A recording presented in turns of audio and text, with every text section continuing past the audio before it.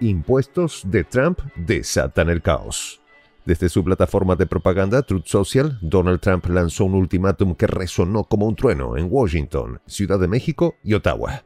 Un arancel del 25% para México y Canadá, una medida que amenaza con descarrilar décadas de integración comercial. El caos no tardó en expandirse. Políticos, empresarios y diplomáticos corrieron para contener el incendio. Los mercados tiemblan, la diplomacia se tambalea, el equilibrio de poder en Norteamérica está en juego. Trump ha cruzado una línea y el continente entero se prepara para las consecuencias. Los detalles a continuación. ¿Quieres saber cómo se puede fundar la patria grande? Mira el final del video. Urgente, se volvió loco. Desde su tribuna de Truth Social, Donald Trump lanzó un ultimátum que sacudió los cimientos de las relaciones comerciales en América del Norte. El expresidente y ahora mandatario electo prometió que al asumir el cargo el próximo 20 de enero impondrá un arancel del 25% a todos los productos importados de México y Canadá. Esta medida que muchos califican de temeraria se presenta como la punta de lanza de su estrategia para combatir lo que describe como una invasión de drogas y migrantes ilegales. En sus palabras, este arancel permanecerá vigente hasta que las drogas, en particular el fentanilo, y todos los inmigrantes ilegales detengan esta invasión de nuestro país. Tanto México como Canadá tienen el derecho y el poder absoluto para resolver fácilmente este problema que lleva latente desde hace mucho tiempo, escribió Trump con su habitual tono incendiario y una clara intención de polarizar aún más el panorama político. El anuncio generó una oleada de críticas inmediatas y una atmósfera de incertidumbre económica. En su publicación, Trump no solo responsabilizó a sus vecinos del norte y del sur por la supuesta crisis, sino que también los acusó de ignorar sus obligaciones internacionales. Según el republicano, los flujos de migrantes y drogas han alcanzado niveles sin precedentes, trayendo consigo niveles de delincuencia y drogas nunca antes vistos. Estas palabras, pronunciadas sin ofrecer pruebas claras, han sido interpretadas como un intento de justificar medidas extremas y desviar la atención de los problemas internos de Estados Unidos, especialmente el consumo masivo de opioides que tiene su epicentro dentro de las fronteras estadounidenses. El impacto de esta declaración no se limitó a las redes sociales. Durante un mitin en Carolina del Norte, Trump elevó el tono de su amenaza apuntando directamente a México advirtió que si el gobierno de la presidenta Claudia Sheinbaum no toma medidas contundentes para detener el flujo de migrantes y drogas en la frontera compartida, el arancel será inevitable. El tono de sus palabras dejó claro que no habría espacio para negociaciones suaves. Es hora de que México y Canadá actúen y lo hagan rápido, espetó ante una multitud enfervorecida. Por supuesto, las respuestas no tardaron en llegar. Marcelo Ebrard, secretario de Economía de México, no ocultó su indignación. En una entrevista para Radio Fórmula, advirtió que México está preparado para responder con la misma moneda. Si tú me aplicas a mí un 25% de arancel, yo tengo que reaccionar con aranceles y soy tu principal importador junto con Canadá, dijo con un tono que mezclaba desafío y pragmatismo. La advertencia de Ebrard tiene un peso que no puede ser subestimado. México no solo es uno de los principales socios comerciales de Estados Unidos, sino que también desempeña un papel crucial en la estabilidad económica de su vecino del norte. Con un comercio bilateral que supera los 700 mil millones de dólares anuales, cualquier interrupción significativa tendría efectos devastadores en ambas economías y Canadá, el otro socio estratégico en este triángulo comercial, también tiene mucho que perder, especialmente considerando su dependencia de los mercados estadounidenses para sus exportaciones de bienes como petróleo, automóviles y productos agrícolas. El efecto inmediato de estas amenazas ya se sienten en los mercados. Analistas prevén que, de implementarse, los aranceles podrían desatar una espiral inflacionaria en Estados Unidos, donde los consumidores tendrían que enfrentar un aumento en los precios de bienes esenciales, como alimentos, electrodomésticos y vehículos. Paradójicamente, el impacto de estas medidas sería más severo para los propios ciudadanos estadounidenses que para los países a los que Trump busca castigar A pesar de las críticas, Trump parece estar decidido a cumplir su promesa.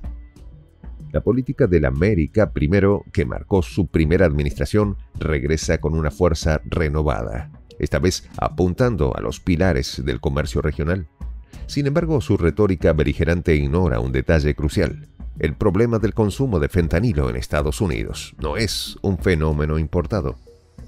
Según datos del Centro para el Control y Prevención de Enfermedades, CDC, más del 80% del consumo de opioides en el mundo tiene lugar en Estados Unidos, y gran parte del problema radica en la demanda interna alimentada por años de prácticas negligentes de la industria farmacéutica y una débil regulación gubernamental.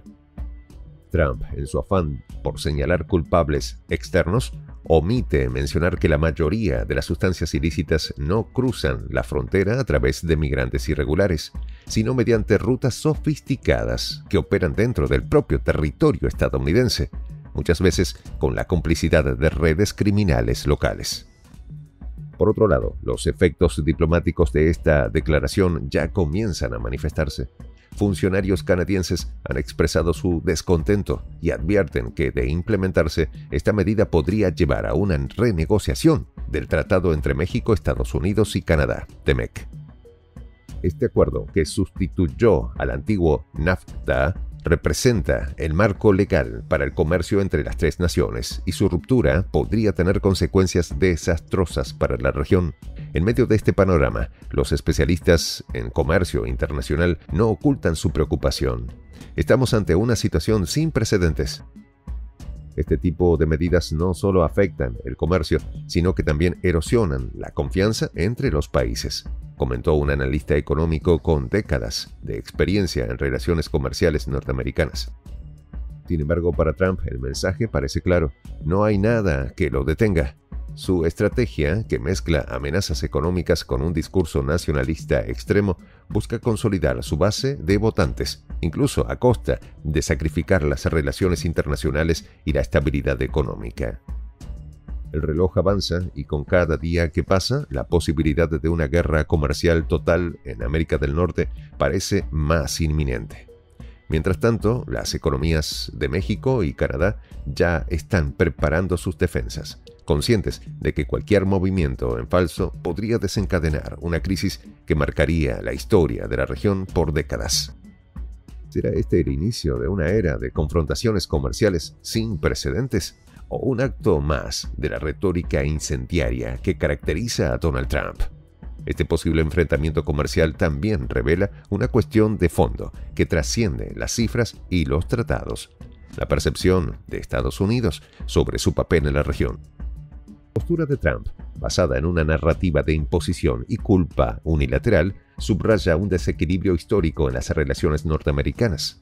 Mientras que México y Canadá han trabajado durante décadas para fortalecer su interdependencia con el gigante del norte, esta nueva amenaza representa una traición para muchos en ambos países.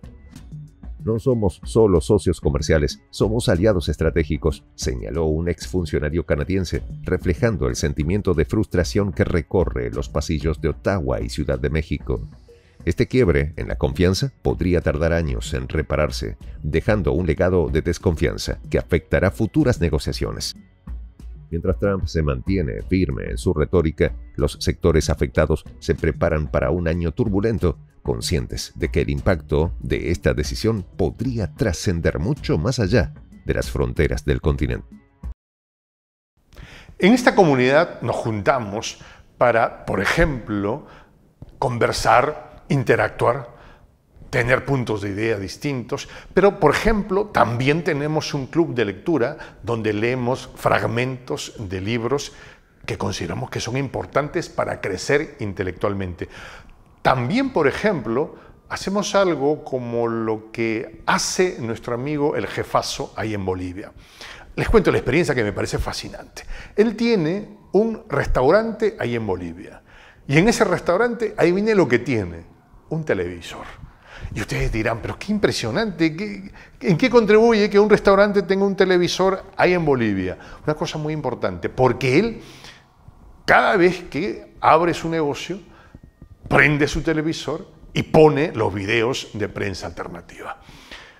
Con eso todos los días, poco a poco, con pasos muy concretos, Él hace que toda la gente que vaya a su restaurante vaya insumiendo el concepto de la patria grande. Y así, pasito a pasito, estamos construyendo la patria grande. Son esos pasos pequeños pero concretos que hacen posible que el proceso de la construcción de la patria grande sea algo que ya comenzó, un hecho dinámico que no tiene retorno en la historia. Y de verdad a nosotros nos gustaría que tú seas parte de esa propuesta. ¿Qué tienes que hacer? Muy simple, dale clic en el botón unirse. De hecho, al hacerlo también contribuirás con una pequeña cantidad de dinero que permitirá que Prensa Alternativa produzca más y mejores videos. De verdad que te esperamos. La patria grande se va a construir cuando tú y yo y toda la gente de buena voluntad de América Latina y el Caribe comencemos a ser comunidad. ¿Cómo lo logramos? Interconectándonos todas las personas de buena voluntad que vivimos en América Latina y el Caribe. Y tienes una oportunidad de hacerlo, uniéndote a nuestra comunidad. Puedes hacerlo haciendo clic en el botón unirse que está en la parte de abajo. Soy el J, Juan José del Castillo, director del canal Prensa Alternativa. Si quieres ser parte de la comunidad de la Patria Grande, suscríbete a nuestro canal. Si es que quieres que te lleguen las notificaciones cada vez que subimos un video, activa la campanita. Si quieres apoyar a nuestro canal económicamente, puedes hacerlo a través de PayPal. El enlace está en la descripción del video. A nombre del equipo de prensa alternativa, me despido con esta expresión en el quechua milenario, Tupananchis Kama, traducción es hasta volvernos a encontrar.